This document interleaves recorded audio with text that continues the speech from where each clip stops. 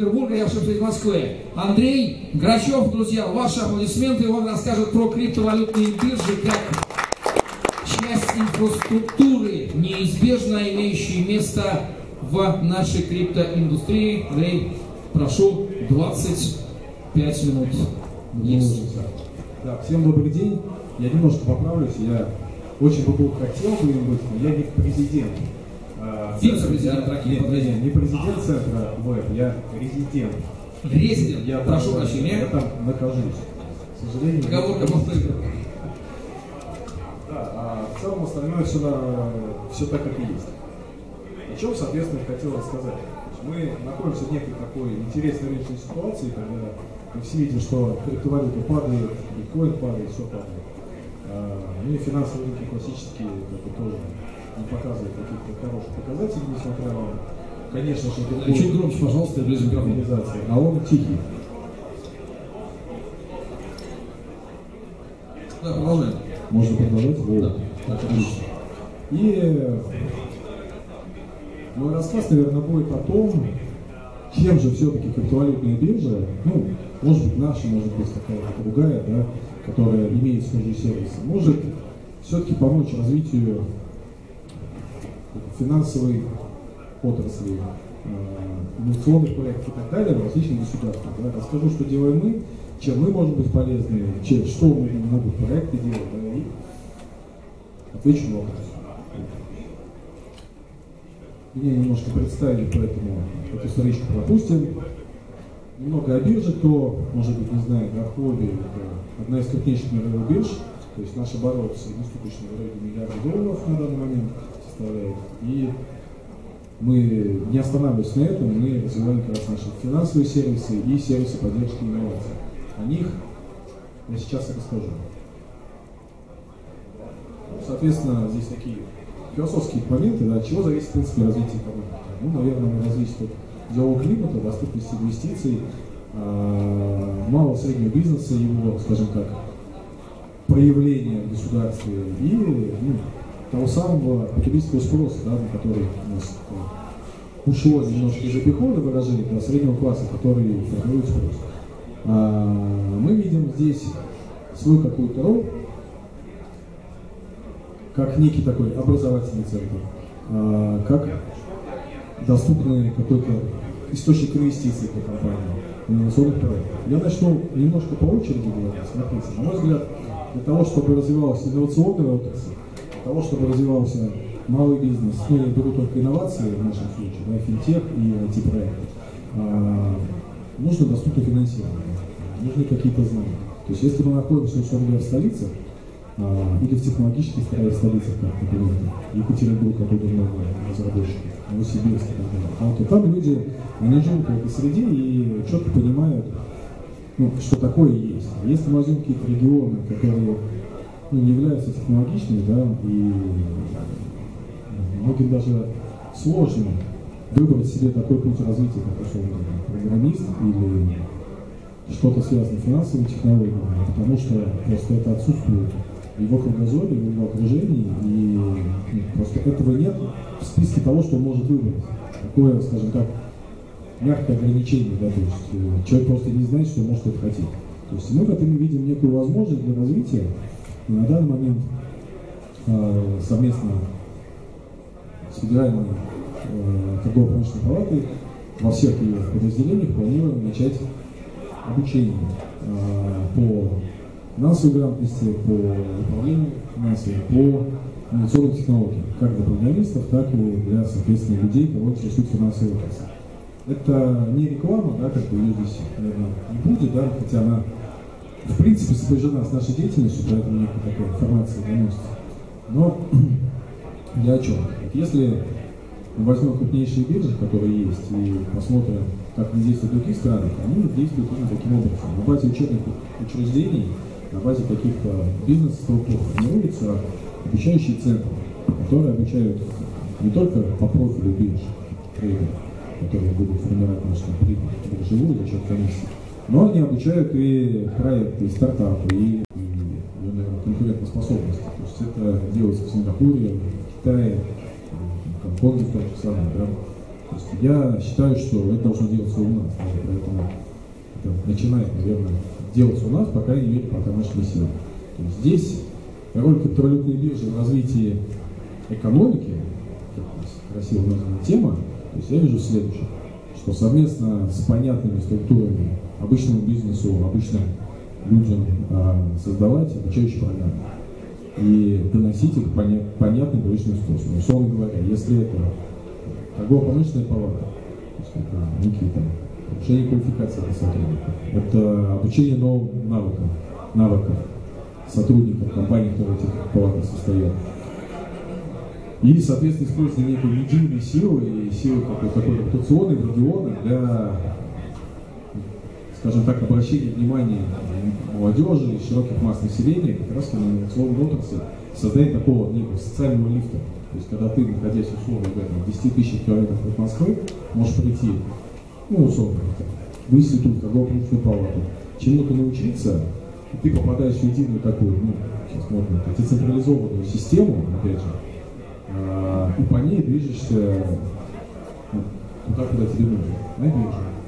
Какую-то финансовую компанию, если ты являешься какими-то талантами, какой-то свой продукт создаешь, и тебе как акселератор биржи совместно с бизнесом и с федеральной структурой помогает. Да? То есть это вот такая миссия.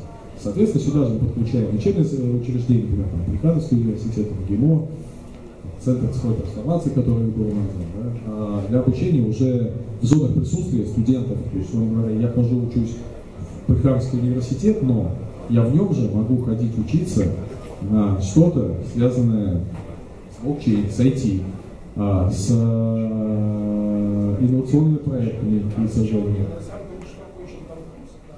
вот э, они еще не начались. То есть э, мы с... Э, ну, я сразу буду, если не против, как у нас мало, такой живой диалог поддерживать. То есть смотрите, курсы мы пока совместные хобби с Американским университетом не запустили. То есть мы с ними встречались неделю назад, последний раз, и договорились о запуске декабря. То есть мы как раз таки хотим не привлекать людей, которые там работали, работают, и говорят, просто по-другому расскажут обычную лекцию. То есть мы хотим давать такие международной компетенции, то есть специалистов из, из э, Сингапура, из Японии, из Китая, из США приглашать, потому что есть такие возможности, это наши специалисты. И за счет них повышается как раз таки такой кругозор участников. Ну, это, наверное, вот то, что связано с образованием. То, что мы можем делать, могут делать другие биржи, которые, опять же, их представители находятся в нашей стране, это есть и российские биржи, да, они намного меньше по оборотам, но они могут делать то же самое, я думаю, вкладом в развитие финансовой системы и поддержки криптовалютного отрасли, это точно будет. Потому что когда делается не только маркетинг, что купи биткоин за тысячу, условно продай за 20, а чему-то научись. Ну, мне кажется, это правильно и такой вклад в будущее. А, про инновации. В общем и целом. А, это опять же туда же в сферу обучение, ну смотрите, да, то есть мы э, находимся как, ну, в конкурентном мире, чтобы в нем э, наши компании, которые на самом деле добиваются больших высот, по тем же ICO, как мы заняли третье место в количестве проектов, это показывает целеустремленность, наверное, какое-то там, открытие, от, открытость риску э, наших граждан, да, э, и той же самой молодежи, да. А, но есть скажем так, проекты из других стран, которых мы никогда не узнаем. Мы узнаем, когда они уже выходят на какой-то серьезный уровень. То есть, чтобы э, получать эту информацию объективно, да, то есть э, мы предлагаем, здесь опять какой-то реклам получается, не очень, но тем не менее. То есть есть некая система, в которой размещаются все IT и проекты, которые финансируют, то есть мы финансируем достаточно большое количество, как расскажу там в следующем слайде. Соответственно, через эту систему инвесторы, и даже фокус не на них, а другие проекты могут найти себе подобных, посмотреть и сильные стороны, чем-то дополнить себя и, скажем так, в жесткой конкурентной среде, когда побеждает тот, кто, соответственно, побеждает и привлекает средства, да, то есть ну, очень такая простая история. Победитель получает все, все. То есть э, как раз и формируются те будущие единороги, компании, которые что-то смогут поменять создать что-то уникальное. Да. В этом плане мы видим некое такое сотрудничество, и оно сейчас устраивается, опять же, с тем же центром компетенции в чем, что есть резиденты центра веб, да, у веба есть там планы по развитию инноваций. Ну, то есть а мы можем, грубо говоря, являться провайдером этих инноваций, которые находятся за пределами России, и их можно высаживать развивать здесь. Можно формировать российские команды и развивать их здесь, финансировать здесь, и создавать наши продукты и продавать их уже ну, не у нас, а за рубежом. То есть некий изменить, скажем так, импорт технологий на экспорт технологий, хотя бы коммерчески, которые могут применять. Ну и доступные инвестиции – это как раз про этот центр, такой логический переход. То есть что сейчас на нашем венчурном рынке находится. Да? Ну, на мой взгляд, он у нас по своей сути как бы ну, его нет. То есть не то, что мертв, его просто нет. То есть это есть какие-то частные истории, где друзья, родственники первый круг, когда собирают люди финансировать, собрал по друзьям, по родственникам, что-то сделал, получилось, уже как бы, можно идти в акселератор, уже можно идти в банк и так далее. Да? Но не у всех есть друзья с деньгами, не у всех есть богатые родственники. Да? А идеи и знания есть у гораздо большего числа, чем хватает денег. К сожалению, у нас ну, венчурная культура еще не развита. Поэтому в данном случае, как в тему развития отрасли, да, развития предпринимательства и инноваций, да, то есть мы предлагаем некую там свою платформу, которой, опять же, обход каких-то санкционных историй, только в криптовалюте, пользуясь как раз правом сегодняшней конференции, да, можно привлечь инвестиции, это на самом деле не стоит ничего, никакого из проектов, он просто заходит к нам на сайт, просто регистрируется и попадает в некое такое инфопространство, в которое он не может попасть, условно говоря, ни на конференции, ни еще где-то, да, потому что разместив там даже любую рекламу где угодно, это, как, говоря, пушка по да. Есть один человек, кто готов проинвестировать, и миллион человек, которым вообще это не нужно, и не готовы, но мы, мы им расскажем, здесь заплатим деньги. Здесь история в чем? Что вы проходите регистрацию, размещаете данные свои проекте, о своей идее. И, собственно, вы попадаете в некий маркетплейс. Маркетплейс для целевой аудитории. То есть она состоит из, как там написано, из юридических лиц с капиталом от полутора миллионов долларов, снижаем на, опять же, нашей платформе. И для физических лиц, что снижаем остаток на депозитах не меньше 450 тысяч долларов. То есть они или дают деньги, или не дают. Если дают, мы зарабатываем, что на торговой комиссии, будет потом. Если не дают, вы, вы ничего не потеряете. То есть это такая некая возможность агрегировать множество идей в одной точке, изучать их с двух сторон. Можно смотреть, во что инвестируют люди. И говорить, смотрите, чтобы ваш проект был более успешен, да, востребован на рынке, потому что ну, инвестиции это первый такой провод на рынке, если мы еще пользуемся, то вот, нужно доработать так. Да. То есть это как раз таки обмен экспертизы, опыта и то, та самая акселерация. Потому что, ну, на мой взгляд, акселерация, когда просто там дают деньги, сделал лишь бы что-то, чтобы оно работало, и не думаю, как это будет продаваться, да, когда деньги не твои, а что банковские государственные. Это, ну, такой тупиковый путь. Здесь очень прагматично. Молодой жизнеспособен, получил деньги, котируется, продает свои продукты дальше уже на рынке, развивается. Не развивается, умирает и все. Вот такая история. Ну и токенизация реальных активов, я на этом как бы отдельно бы остановился. Сейчас таких примеров немного.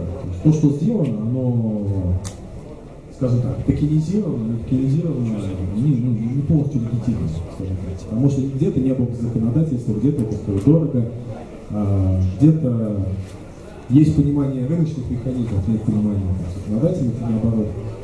И, на мой взгляд, в принципе, биржи, как сейчас там, московская биржа, да, она является эмитентом деривативов, какие-то активы. А, создавая там, обеспечение них, котирует, запускает торги и так далее. То же самое можно делать и со стейблкоинами, с э, токенизированными активами. Вопрос документов. То есть сейчас в России оформляется несколько компаний, поэтому из громких это Дорникель, которые на базе никеля планируют создать некую бумагу электронную. Ну, понятное дело, здесь простая цель повышения ликвидности, повышения продаж. То есть, ну, и, соответственно, если она будет стабильна, то это важно в ее качестве, и будет волатильность такой, то она может стать ну, какой-то заменой тому же USDT, который сейчас на бирже, как доллар, стоит подороже доллара, подешевле доллара, и ну, прямой альтернативы не видится. Чему я все веду? Условно говоря, на данный момент это можно делать, это можно как-то котировать, а, но повсеместного использования этого нет. Следующие шаги, которые, на мой взгляд, будут, это как раз токенизация в первую очередь базовых активов, которые можно привязать какие-то стоимости. Это золото, это валюта, но уже в легитимном поле. Не как-то сделано ну, с условным USDT, когда мы говорим, что да, мы токенизируем доллар, но по документам мы ничего. То есть мы вам дали что-то, забрали деньги, ничего не должны. Должны быть понятные подходы к аудиту, котированию цены на бирже и так далее. И, соответственно, маркетплейс этих самых привязанных каким-то, неважно, к любым активам токенам, что я купил тоже токен условного никеля, и если мне зачем-то надо, я его там грамм никеля получить могу. Не, не важно как, не важно где, но как-то могу, это понятный процесс. Для чего это может быть использовано? Ну, здесь все очень просто, да, есть учетные системы, которые существуют. Ну, здесь такой некий новый уровень этого учета движения товаров, финансов и прочего. Когда он будет стоить дешевле, чем текущий, соответственно, он будет. На данный момент все, что можно сделать, это что-то токенизировать, на мой взгляд. То есть это валюта, то, что стейблкоин на валюту, это, наверное, сейчас самое востребованное, что будет, если он будет, опять же, такой стейблкоин нового поколения. И стейблкоин стабильный актив, горнозол. Торговые пары золоту, торговые пары условному доллару, который котируется, который всегда стоит доллар, понятно, что он не обеспечен, не обеспечен не словами, скажем так, фаундеров, а независимой касательной компании хотя бы из большой четверки, и плюс как бы, какими-то банками, то это совсем другое качество. Ну, соответственно, его котирование на бирже, чтобы его не проливали вниз, не поднимали вверх, и он стоит всегда цену. Вот. То есть подытоживая весь этот такой вот рассказ, я бы сказал следующее, что в принципе, вне зависимости от принадлежности и прочего, криптовалютные биржи, финансовые институты, какой могут нести вклад экономики? Да? Это учить э, проекты людей, повышать, повышать общую грамотность, потому что когда повышается, ну, как вы, думаю, все знаете, да, область знаний, у нас повышается область незнаний. Люди стараются узнать больше, и тем самым делают больше и вносят такой больший вклад опять в экономику, с одной стороны. А, формировать доступность этих знаний через бесплатные программы, через обмен опытом с зарубежными какими-то экспертами, проектами и прочим бизнесом. Ну и, соответственно, быть в тренде технологий, в тренде того, что происходит вообще в мире, и давать это бизнесу крупному, среднему, чтобы, опять же, лишние средства приходили в большем объеме и ходили на рынок. Наверное, на этом все.